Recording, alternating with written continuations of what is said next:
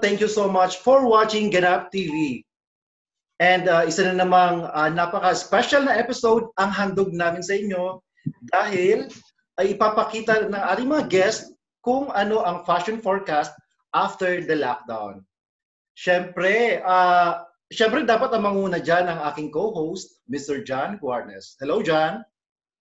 Hi, Bench. We're here. We're back again. Hello. Kaya, ito exciting tong episode natin kasi nga matatapos ng lockdown. We just have to wait mga 15 days Oh. na lang. Tapos na, Lord. Thank Counting you. ano lang, counting tumbling na lang. Kaya naman, excited.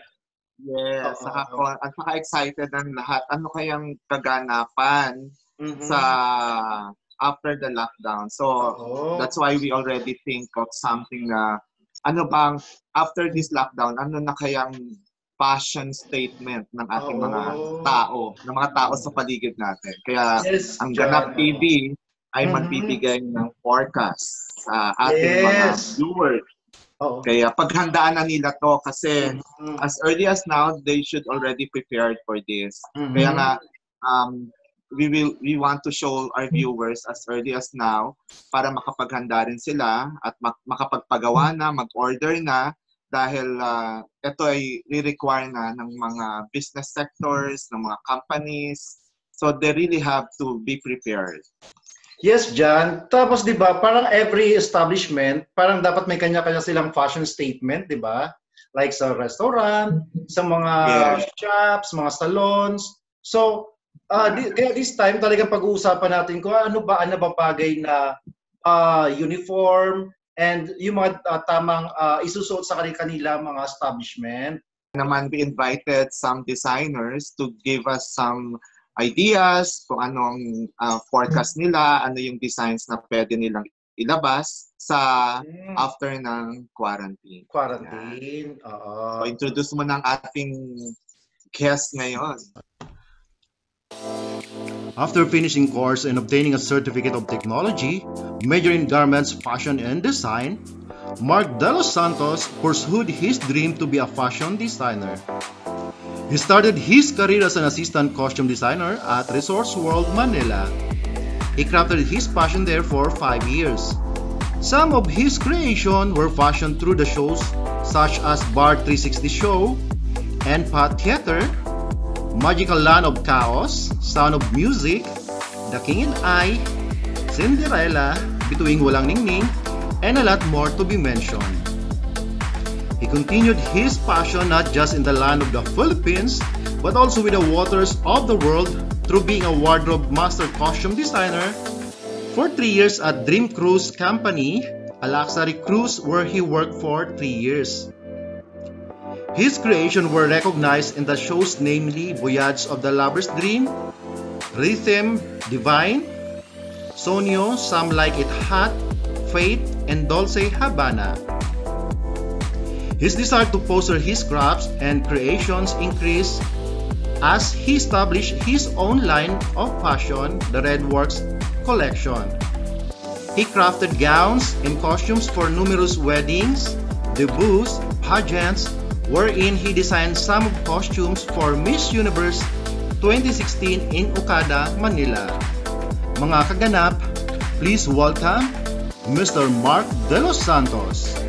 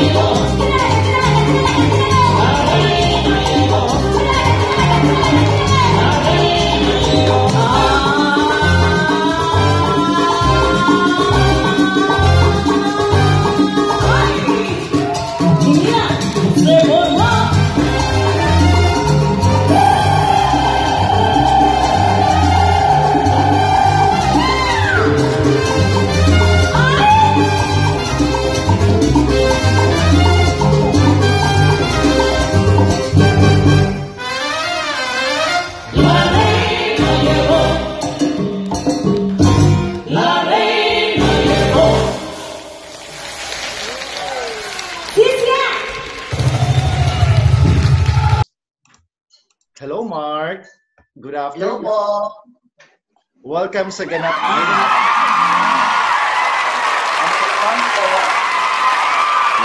Ah, batiin mo naman ang ating mga viewers ngayon, lalo na yung mga followers mo.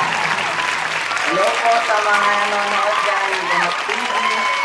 Tsaka sa mga followers ko sa page ko. Hello po. So, kaya thank you, uh, Mark, na pinaunlakan mo ang aming uh, panyaya para mag-guest sa aming Ganap TV. Oo.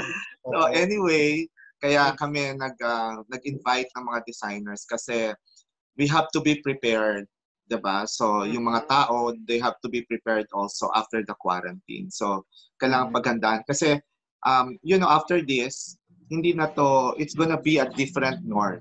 It will be ano, iba na ang magiging lifestyle ng tao because hindi tayo basta-basta lang maglalab maglalabas na we, we're not protected. Diba? Kasi yung virus would still be there. And so, ang nakakatakot, syempre, kung hindi ka protected, ah, baka dadami. Ang nakakatakot yung second wave bench. Yes. Oo. Yun ang nakakatakot. Kaya, kailangan paghandaan na natin yung ating sarili. At saka dyan, di ba, aside from wearing yung mga uh, PPE, yung mga protective uh, equipment, uh, kailangan pa rin natin ng social distancing. And, di ba, Yes. parang like yung mga major events pa rin yata, I don't know kung matutuloy ba or hindi. Just like yung isang show na supposed to be tayo-tayo magkakasama, di ba? So, oo. Yeah. So, Kasama natin dapat si Mark sa show sa ah, FOF. yes. Oo, oo. Mark. Yun. So, anyway. Oo. Anyway, so yung bago nag-lockdown, ano yung preparation mo dito sa fashion show natin? Actually, ako before lockdown, ang plan ko before for fashion show sa FOF is yung more on wedding. Mhm. Tsaka more on debut. Kasi eh, yun yung pinaka pinopor ano ko ngayon um tawag dito Forte. uh, Forte mo. mas oo mas pinaporte ko ngayon kasi before kasi mas pinorte ko ang costume Mhm. kasi I work for a theater shows Mhm. sa Resort World tsaka sa Dream Cruise so Mhm. mas na ano ko doon tawag dito mas ah mas nagamit ako yung talent ko na mas nagamit kumbaga mas tuloy-tuloy yung ano ko doon yung career ko and then decide na mag ano mag mag for good sa Philippines so Mhm. dahil wala naman masyadong ano rito wala masyadong ah career sa costumes so Mhm. nag ano ako nag bumalik ako sa wedding at saka sa debut sa mga special event occasions na mga couture gown. Mark, I have a question. Mahirap ba yung mga, like yung mga costume na ginagawa mo? Parang it would take like months? Or hindi naman? Actually, nung when I work sa Dream Cruise, mag-isa lang kasi ako doon. Um, so ako lahat, ako nagde-design, Mhm. ako nagtatahi, ako nagtatabas. Everything yung idea ko, tapos po propose ko sa cruise director namin, sa Mhm. production manager namin. Mhm. Then pag nagustuhan nila, execute. So ang isang theater show doon, binubuo namin ng one month. Mm. So may 360 plus na costumes na kailangan mabuo ng isang buwan. Oh my. Eh, Oh my. gra- nakayanan mo yung Grabe. ano, Mark? Grabe. Kaya naman. Kaya naman. Ikaw lang Nakasurvive mag-isa kahit kung paano. Mhm. Ikaw lang mag-isa or you have other Ako lang people? mag-isa. dito? Talaga? My Yes. gosh. Tapos So, may mga at- theme. Oo, may mga theme pa kung anong Yes, klaseng meron kami costume. mga ano, like, yung sa voyage namin, kasi ano yun eh, yung Voyage of the Lover's Dream, kwento Hmm. siya ng astronaut at saka ng mermaid na na in love sa isa't isa. And then they meet in Horizon. Grabe. ganun. Grabe, effort yun ah. At saka saludo ko sa iyo for one month, nakatapos ka ng ilan. At ikaw lang. Mhm. Kailangan kasi, ano yung, pag nasa barko kasi, every ano, every year, so Mhm. nagpapalit. So, although yung preparation, matagal, kaya lang yung execution, production, isang buwan lang. Kasi dadating yung mga dancers, mag-rehearse sila for one month, tapos doon lang din namin pwedeng gawin yung costume. Pero minsan, kapag ka may magpapalit ng shows, may idea na ako, may Mhm. binigyan na silang team, gawa na ako ng idea, proposal na ako, gawa na ako ng mga sketch, gawa na ako ng mga ano yung mga posible, tsaka Mhm. na pwedeng gamitin, at tsaka pwedeng mabuo dun sa conceptualist nung story, tsaka nung costume. Mm. Grabe. Okay, so, ang galing mo. so, ang ngayon, kaya ka namin na-invite kasi we all, we have to show to our viewers what preparation they should do after the quarantine. So, kaya um, Bench and I made the decision to um, uh, teach or uh, show to our viewers na ito na yung dapat natin gawin after the quarantine. So, sabi namin dahil ngayon uh, napaka ano ng PPE suit. So, we invited you.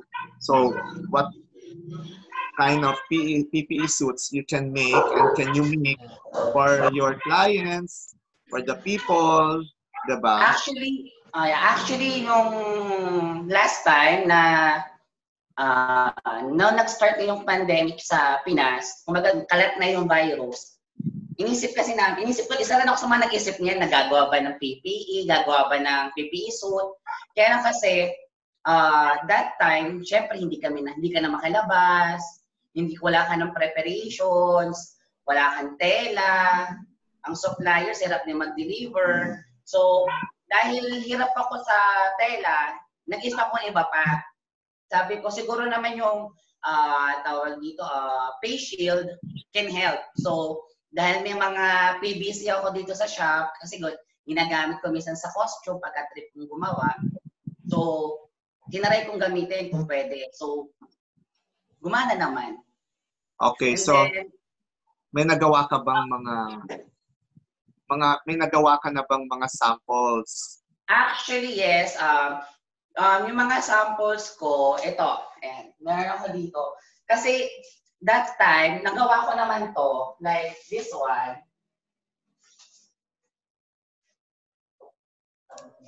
This one. Kasi magkakaroon kasi, for example, um, right after na lockdown, magkakaroon ng mga weddings. Mhm. Ngayon, inisip Yeah. ko that time, paano yung mga bride ko? Paano sila Mhm. magiging safe sa isang malaking gatherings? Mhm. So, imbes na veil yung gamitin, Mhm. ang naisip ko is face shield. Face shield. Tapos, oo, face shield siya na more on crystals, more on Mm-hmm. stones, more on uh, beads, more on pearl, para Mhm. still, may ano, ah, may element ng gamit for wedding. Mhm. Mas safe siya kaysa sa veil kasi ang veil still kayang pasukin ng virus. Yes, oo. Ang cute Ang niya. ganda ano, naman ng idea. Ang ganda. ng idea, Ben. Very fashionable talaga. Oo. Oo. Totoo nga naman, uh, you know, hindi, Yung mga iba ko namang ginawa kasi for sure hindi lang naman wedding ang event sa sa Pilipinas, may mga Oo. may mga entertainment din kasi tayo, mga singer sa bar, Mhm. singer sa mga sa mga theater, Mhm. somewhere, basta may singer, may dancer. So, kailangan, nag-isip na rin ako ng mga possible ideas na pwede nilang magamit. Like, this one, Ang galing dyan. Katuwa. Yeah. singers, gano'n, Oo. dancers. So, Mm. kasi still gatherings kasi and, and wala pa tayong antidote para doon. So, kailangan yung mga artists din natin, Protected, mga yeah. models, Mhm. secure din sila sa virus. Mhm. Yeah. Ang galing. So let, let, let's discuss first yung wedding uh, face shield mo. Mhm. Parang yan yung veil ng bride, 'di ba? Yes. Yan na yung pinaka yan na yung pinaka ano veil niya. Saka Mhm. sa Siyempre, maraming naka-schedule na ng wedding for Mhm. sure ng May. Yes. Lalo na June, 'di ba? Uh, Mhm. month Yes. of um, bride yan. Ng, uh, June bride. ang Oo, mga, Oo, mga June June bride. bride. Oo. Diba? June bride, saka Vermont bride. Kaya lang kasi based on sa news, Mhm. sa TV, yung tinatawag nila na new normal. normal. New Mhm. norms. New oo, norm. new norm. New new normal kasi ngayon, wala daw kasi mass gathering for the event ng wedding. Yeah. Hanggat walang antidote. Kaya lang kasi, still, may mga tao talaga na Matigas ang kahit si ulo. Bat, kahit si Bat, taga, Susuwayin yan. Pwede bang ano. Jan, pwede bang online wedding na lang? Pwede. Actually, nga, ang preferred ko nga cruise ano eh. Kasi ang cruise wedding possible kasi doon operations ang kapitan pwede magkasal. Wow. So, anyway, maganda yung ginawa mong idea kasi nga um, yung yung ah, yung iba kasi naka-schedule na. So kahit kokonti lang yung guest nila, tinutuloy nila. Last Mhm. previously may nat- nagtuloy ng kasal pero ginawa nila online, 'di ba?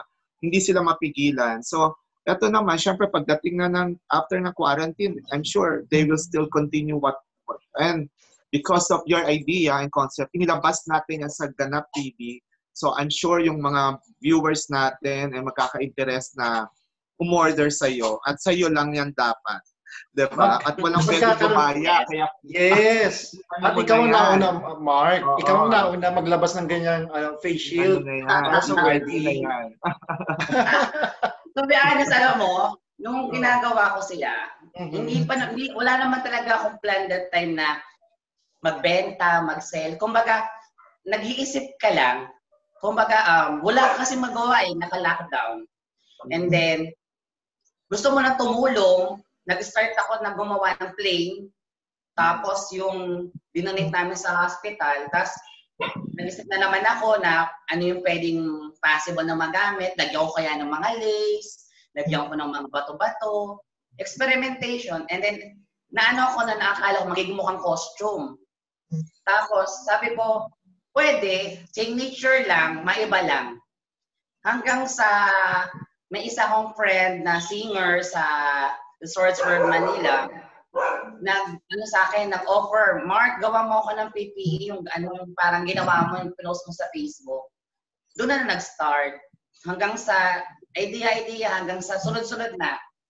Yung, eh, yung, yung parang Cleopatra na ano, ayun yung gagamitin sa, sa ano, sa, ano pa nga yung bar na yun? Ah, 19 East. Mhm. Kasi meron siya mga gig doon. Once na nag-open yung bar, ayun yung gagamitin niya, signature hair niya. Cleopatra na blue. Yes. Kaya nga, kaya nga I'm sure maraming mag-order sa iyo niyan. Kaya uh, give us your contact so we can show it to our viewers. Actually, Bench, nakakatuwa kasi nga yung pinakita natin yung um, Infinity Maxi Dread, no? Yes. Somebody oo. order. Marami na mga tumawag sa akin at nag-order. Diba? Oo. So, ibig sabihin, Mark, kapag napanood ng mga viewers natin to, I'm sure maraming magpo-order sa'yo. Kaya ihanda mo na. Ihanda mo ng sarili mo. Kaya maraming salamat. So, hindi ka naman gumagawa ng ano, PPE suit ngayon. Actually, ngayon ang ginagawa ko is yung face mask, pero ano siya, um, signatured.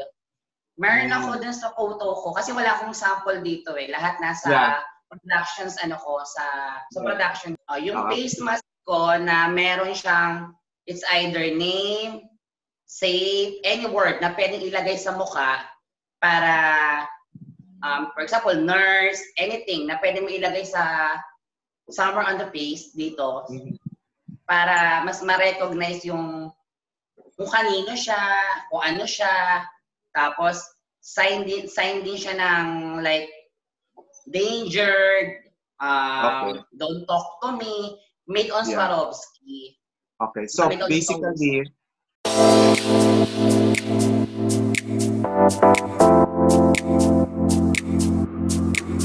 So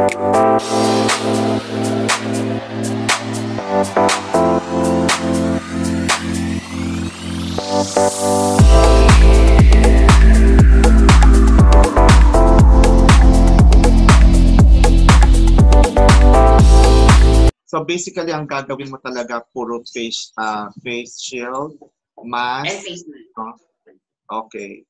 So at least yung mga viewers natin would know kung saan sila order ng face mask, ng uh, face shield na medyo couture. Diba? Actually, for, for PPE ngayon, kasi once na we open na yung matapos yung lockdown at we can purchase a fabric, plan ko rin gumawa ng ano, ng like PPE suit na wedding gown, PP Tama. suit na pang casual na pwede kang pwede kang maggala na naka PP suit na hindi ka mukhang naka parang kapote. Kasi Oo. um, casual style na mukha naman siyang ano, presentable. Hindi ka Yes. mukhang nurse, hindi ka mukhang astronaut. Medyo Yeah. look like ka ng normal na tao. Parang so, long sleeve and pants na pinagda, pinagsama, pero fashionable look. Very good, very good. So ano ba yung nasa likod mo na design mo, creation mo? Actually, ito, ano siya, um, ginamit ko siya last Miss PCISD. Mm, And then, yung ginawa ko lang siya ng face shield para just in case na may gustong manghiram, gumamit, or gamitin sa pageantry like sa Miss Earth, um, still can use safe pa kasi meron siyang terno na face mask. Ay, na face shield. Tinernuhan mo yung couture gown ng face Yes. shield. Mas medyo magmukhang ano, Yeah. couture. Very good. 'Di ba? Parang ito ito yung ano talaga, parang gumagana yung creativity ng mga designer ng mga tao during the lockdown, 'di ba? Yes, lumalabas ang-. Lumalabas ang creativity. Mhm. At- Ano, hindi lang basta-basta ang lumalabas. You know, yung creativity becomes functional. That's so important. Mhm. Diba? Kasi kung nag-create ka naman without even thinking of what is the sense of your creation. So, Oo. itong mga designer natin, lalo na si Mark, tinitingnan niya yung functionality ng um, Yes. ginagawa niya. Diba? Kaya, he make it a point yung ginagawa niya eh, like, coordinated with yung face shield, coordinated with the outfit, katulad yung nasa likod niya ngayon, the design niya na couture gown. So, gumawa siya ng coordinated na face shield that go with it. So, pag may mga social gatherings, kasi I'm sure the gatherings will be very minimal, but you know, Yes. it's, oo. kung may dumating man, magkaroon man, they still want to be protected. So, maganda yung idea niya, high fashion. Yes, I love it. So, underwater face shields ko na-inspired. So, Oo. oo. made. Mga siya aquarium. Wow, Wow. nice. Ang ganda. Oh, diba? So, yan Oo. naman, para sa summer. Summer, oo. Yeah. Pwede, summer. Parang Actually, beach ang wedding.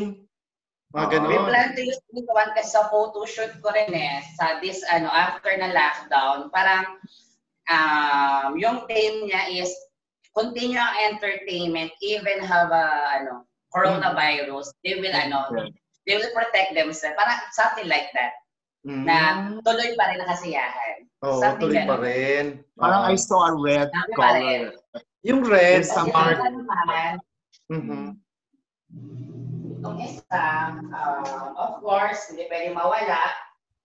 Mhm. Um, LGBT ano siya. Uh, for LGBT. Ah. Rainbow. oo. Mhm. So, comedy bar, something ganon, Mhm. or pwede rin sa mga anything. Oo, mga sa mga sa mga performer.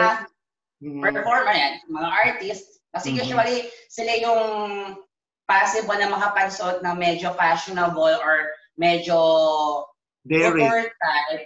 Kasi Oo, sila, okay. nasa entertainment industry, so, sila may hilig magsuot ng mga sobrang fashionable. As in Mhm. mga like, lalo yung mga LGBT family natin dyan, they love it.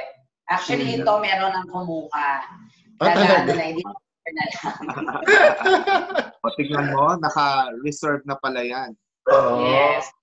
Kumuha ano siya, ah, isa siyang ah, and, ah, comedian sa Mhm. Lapline.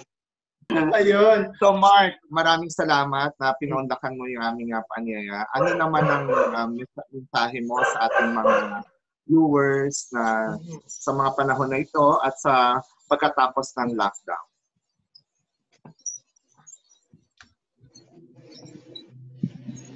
Mark, Ma- message Yes, mo. ma'am. Anong, men- anong mensahe mo Mhm. sa ating mga viewers Mhm. ah, sa mga nang pangyayaring ito at sa mga tag rito after the lockdown? Mhm. Your last Ah, message. Mhm. always keep safe. Um, wear mask, waste, wear ka ng face shield. You need to protect yourself kasi once na until now wala tayong antidote so still kailangan keep safe ka lagi. Keep Mhm. praying na dapat safe ka, yung family mo, loved ones mo, Mhm. mga taong surroundings mo, buong mundo. Ah, keep praying lang kasi yun na lang din yung possible na talagang strong na pwedeng tumulong sa atin laban Oo. dito sa pandemic coronavirus na to. Oo. Very good. Tama naman. Oo, oo, oo. Thank you. Thank you, Mark. Thank you, Mark. Ah, and Thank Mark, you din oo. Ano yung mga social media accounts mo para invite uh, our viewers? po. Um, yung sa account ko po, you can follow dun sa Redworks Collections na page. Tapos po, um, support nyo rin po yung Facebook account ko, kaya lang full na. Pero still, pwede naman tayong mag-unfriend. Yung mga hindi active. Yung mga hindi mahilig mag-follow, mag-like. So, kailangan i-demote na Tanggalin na. friend tanggalin na. Actually, madami na sila. Marami na ako na-lista. Kaya lang kasi, kino-confirm ko na may na-message ko. And then, pag di na nag-reply, ina-friend ko na. Ganun ba yung Mark? Hindi naman, yung page, yung page ko, yung Redverse Collections, um, maybe after ng lockdown, magkakaroon ako doon ng mga tutorial, especially sa paggawa ng mga headdress, tutorial video.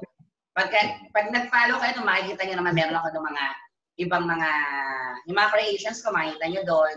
Mhm. Um, simulat na kung paano nag-start yung Redworks Collection. So, and then Ayun. paano nyo rin yung gano, ganap, um, ganap TV. Hi, I'm Mark De Los Santos, fashion designer. Please support and follow Ganap TV. Um, sa lahat po ng uh, frontliners natin dyan, sa mga doctor, nurse, sa mga uh, garbage collector, sa lahat, sa mga uh, sa mga volunteers, sa lahat-lahat ng tumutulong sa Mother Earth natin as a Philippines, always keep safe and always pray. Dahil sa Ganap TV, kayo, Kayo ang ang bida. Ayan. Thank you, Mark. Yeah, Basta thank you, ano, Mark. Thank you po.